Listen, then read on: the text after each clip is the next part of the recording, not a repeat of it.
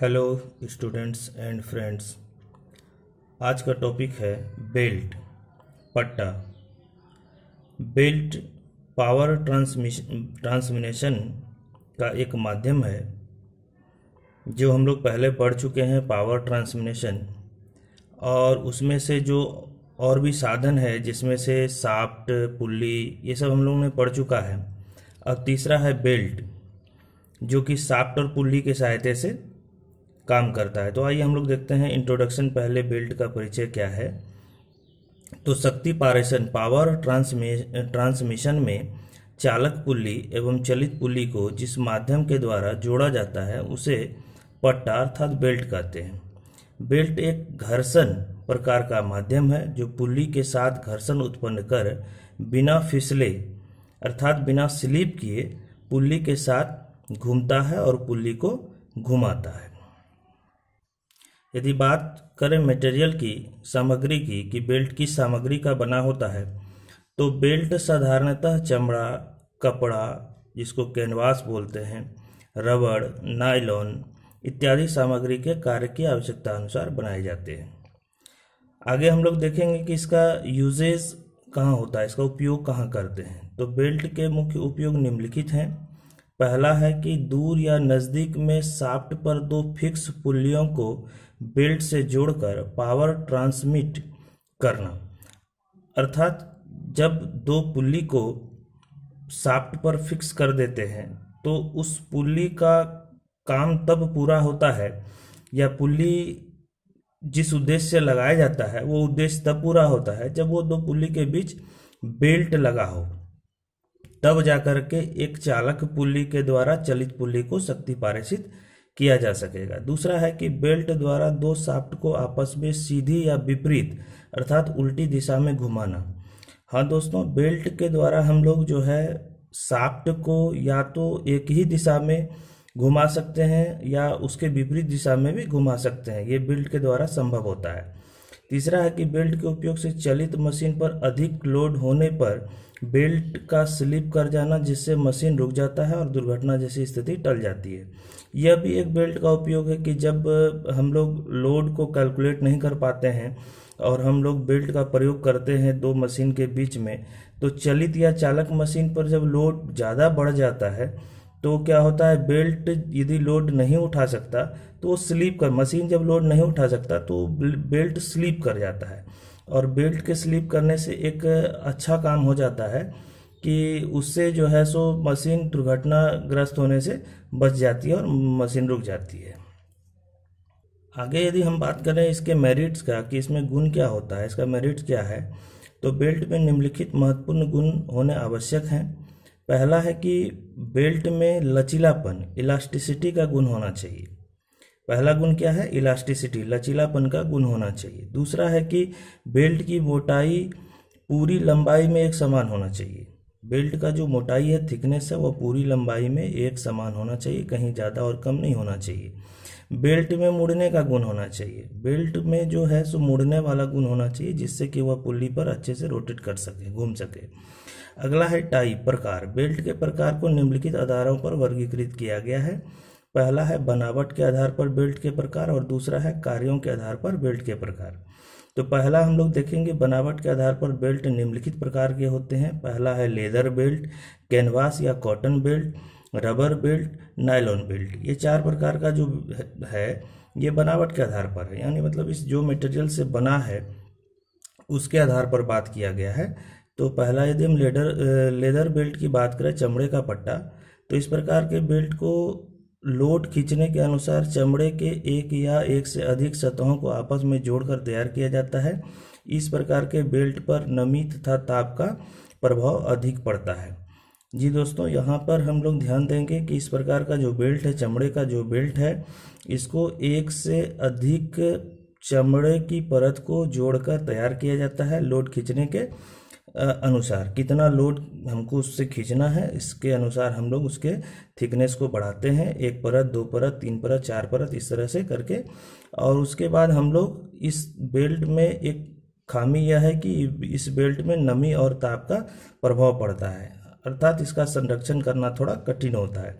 दूसरा है कैनवास और कॉटन बेल्ट कैनवास और कॉटन बेल्ट मतलब कैनवास या कपड़ा का बेल्ट इस प्रकार के बेल्ट को लोड खींचने के अनुसार कपड़े के एक या अधिक से अधिक सतहों को आपस में जोड़कर तैयार किया जाता है। इस प्रकार के बेल्ट पर नमी तथा ताप का प्रभाव कम पड़ता है। कम कहने का मतलब है कि चमड़े का जो बेल्ट है, उसके अनुसार इस पर, उसके अपेक्षा में इस बेल्ट पर नमी और ताप का प्रभाव कम पड़ता है। अब यदि हम बात करें रबर बेल्ट का तो इस प्रकार के बेल्ट को कपड़े तथा रबर को आपस में बुल्केनाइज करके तैयार किया जाता है। अर्थात कपड़े और रबड़ को आपस में बुनकर तैयार किया जाता है। इस प्रकार के बेल्ट को प्रायः बिना जोड़ के तैयार किए जाते हैं। और इस बेल्ट में जोड़ नहीं होने के कारण इस बेल्ट में वाइब्रेशन कम होती है, धड़कन कम होती है वाइब्रेट कम करता है। इस पट्टों पर नमी तथा ताप का बहुत कम असर पड़ता है, लेकिन तेल या ग्रीस के संपर्क में आने से यह बेल्ट खराब हो जाते हैं। इस प्रकार के बेल्ट में कहा जाए तो नमी का कोई भी असर नहीं पड़ता। मतलब बहुत कम कहने का मतलब यहाँ पर नमी और ताप बहुत कम कहने का मतलब है कि ना के बराबर इस पर नमी का असर पड़ता है। यदि हम आगे देखें नायलॉन बेल्ट की तो इस प्रकार के बेल्ट को लोड खींचने की आवश्यकता के अनुसार मोटाई में नायलॉन के एक ही स्ट्रिप को जोड़कर उसके ऊपर एक ऊपर एवं नीचे सतहों में कपड़े एवं चमड़े की एक परत लेयर लगाकर तैयार किया जाता है। हाँ दोस्तों, इस प्रकार का जो बेल्ट है, नायलॉन बेल्ट है, वह एक ही स्ट्रिप में, यानी कि हमको जितना भी लोड खींचना हो, उसके द्वारा जितना भी लोड पारित करना हो तो उस अनुसार हम उसका मोटाई ले लेते हैं और वह एक ही स्ट्रिप का होता है और उसके ऊपर नीचे सतहों पर कपड़े या चमड़े की एक लेयर लगा देते हैं और तैयार करते हैं।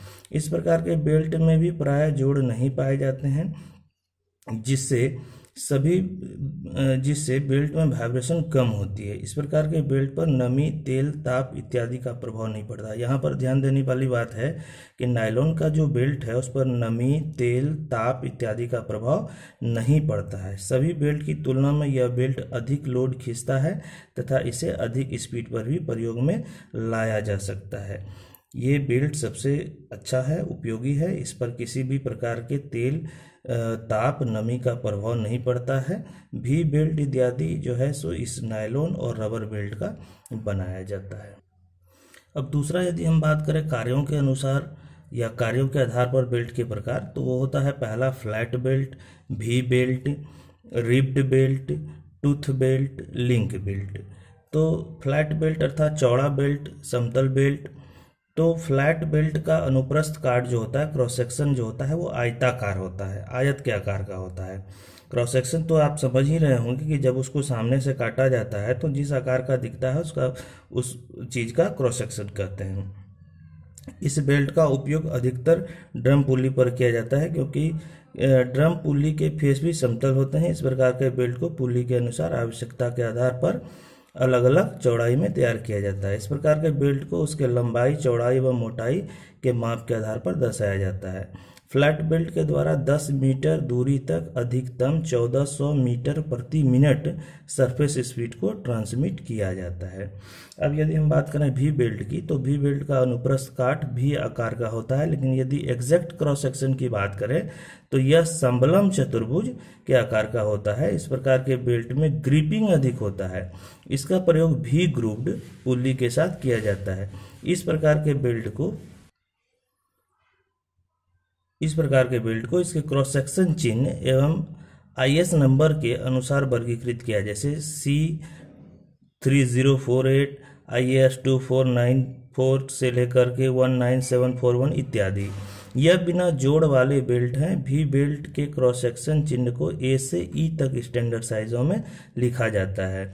हाँ दोस्तों, भी बेल्ट के जो क्रॉस सेक्शन चिन्ह है, उसको ए से ई तक, जो अल्फ़ाबेट का ए से ई है A B C D E तक स्टैंडर्ड साइज़ में लिखा गया है, जो नीचे टेबल में दर्शाया गया है। यदि हम ऐसे बात करें कि चिन्ह नॉमिनल चौड़ाई एम एम में नॉमिनल मोटाई एम एम में और ये देखिए क्रॉस सेक्शन हम बनाए हुए हैं तो यहाँ पर चिन्ह ए की बात करें तो नॉमिनल चौड़ाई जो है वो तेरह एम mm और नॉमिनल मोटाई आठ एम mm ये ए चिन्ह से डिनोट करते हैं।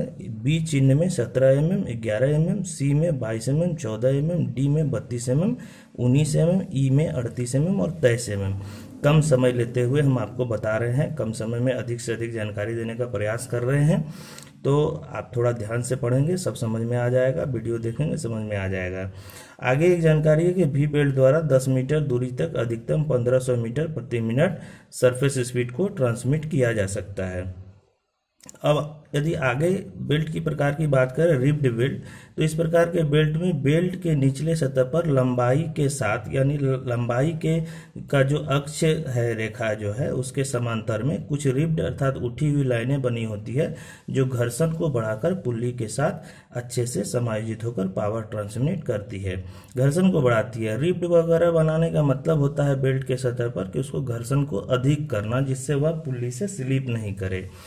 और दूसरा है टूथ बेल्ट। टूथ बेल्ट क्या होता है? इस प्रकार के बेल्ट में बेल्ट के निचले सतह पर चौड़ाई के साथ थोड़ी थोड़ी दूरी पर उठी हुई लाइनें बनी होती है, जो दांतों के समान होती है। इस बेल्ट के प्रयोग में पुल्ली पर, अर्थात पुल्ली के फेस या सतह पर भी इसी प्रकार के दांते होने आवश्यक है, ताकि दोनों का समायोजन एडजस्टमेंट हो सके। इस प्रकार के बेल्ट का भी प्रयोग कम दूरी में शक्ति पारेषण के लिए घर्षण को बढ़ाने हेतु किया जाता है। इस प्रकार का जो बेल्ट है, ये सब बेल्ट वहाँ पर किया जाता है, जैसे मशीन के अंदर। मशीन के अंदर यदि दो चलित और चालक पार्ट्स हो तो उसके बीच उसके बीच यदि बराबर बेल्ट स्लिप कर जाए या कभी कभी बेल्ट स्लिप कर जाए तो उसको हमेशा बेल्ट को लगाना कठिन होता है।